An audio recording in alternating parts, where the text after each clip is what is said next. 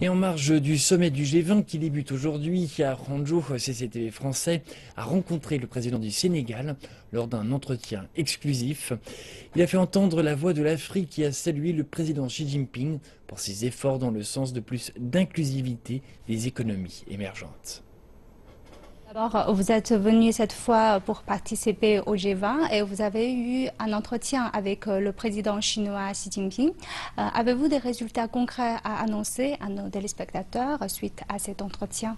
Permettez-moi d'abord d'exprimer euh, mes remerciements et ma gratitude au président Xi Jinping pour cette invitation à prendre part au G20 en tant que président du NEPAD et président de la République du Sénégal mais aussi euh, le féliciter pour la manière inclusive dont la présidence chinoise du G20 a été menée, qui a non seulement voulu que pendant les travaux du G20 qui concernent la gouvernance mondiale, que les questions d'inclusivité et de l'Afrique en particulier soient bien prises en compte. Euh, j'ai eu un entretien avec lui qui a été extrêmement fructueux euh, du point de vue de notre coopération bilatérale, en plus des questions entre la Chine et l'Afrique.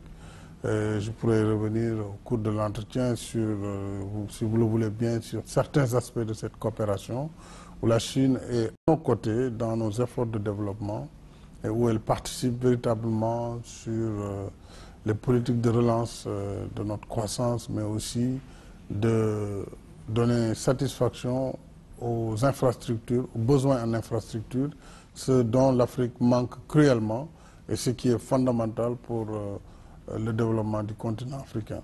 Comment apercevez-vous les nouveautés du G20 de cette année? Nous, nous avons des préoccupations spécifiques, nous, Africains, c'est que l'industrialisation doit toucher le continent. Et si d'ailleurs la croissance globale est si terne, elle est, elle est si médiocre, c'est parce qu'il y a des endroits dans le monde qui peuvent contribuer si on y mettait un peu plus d'investissement. Et l'Afrique, justement, c'est un continent de 30 millions de kilomètres carrés. C'est un milliard d'individus avec euh, voilà, au moins 300 millions de consommateurs qui sont à revenus intermédiaires. L'Afrique a besoin de financement. L'Afrique ne vient pas pour tendre la main, mais nous disons, nous voulons un programme de partenariat qui permette au continent, au moment où il a besoin de décoller, d'avoir l'énergie nécessaire pour, et la force de décollage.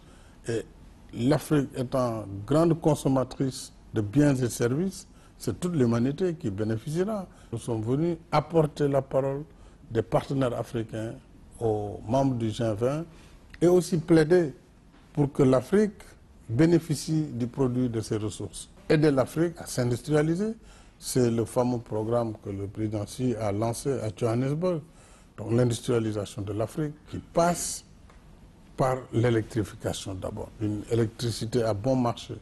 Là aussi, on verra les questions sur euh, les changements climatiques et la nécessité pour les pays, les grands pays pollueurs, de participer dans le financement du fonds vert pour que l'Afrique puisse avoir accès à des sources d'énergie propres mais compétitives. Voilà un peu, si vous voulez, les enjeux que nous, nous voulons poser en marge du G20 et plaider pour que l'Afrique euh, vraiment soit au cœur des préoccupations. Et le président Sil nous a fait vraiment plaisir pour sa prise en, charge de ces questions, mais aussi le plaidoyer qu'il pourrait faire auprès des autres membres du G20. Alors, euh, pour résumer un peu, euh, le G20 parle, euh, vous avez évoqué aussi que de la gouvernance mondiale. Donc, quelle est votre vision de la gouvernance mondiale et surtout le rôle des pays émergents des pays africains dans la gouvernance mondiale? Comment ils peuvent faire pour avoir davantage de droits de parole? Nous avons constaté que la gouvernance mondiale telle qu'elle est aujourd'hui, elle n'est pas juste nous, pays africains, nous pesons très peu, à peine 1%, même pas, sur, les institutions de Bretton Woods, Banque mondiale, Fonds monétaire. Donc notre parole, en vérité, elle ne compte pas. Et, nous pensons que ça, c'est pas juste, c'est pas parce qu'on est de petites économies qu'on ne doit pas tenir compte de nos préoccupations, nous avons des problèmes.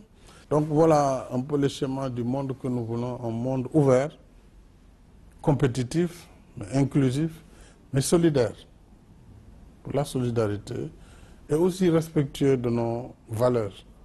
Parce que ce n'est pas parce qu'on n'est pas riche qu'on ne doit pas nous respecter dans ce que nous sommes, parce que nous sommes différents. Chacun est différent. Il faut qu'on nous accepte avec notre identité d'Africain.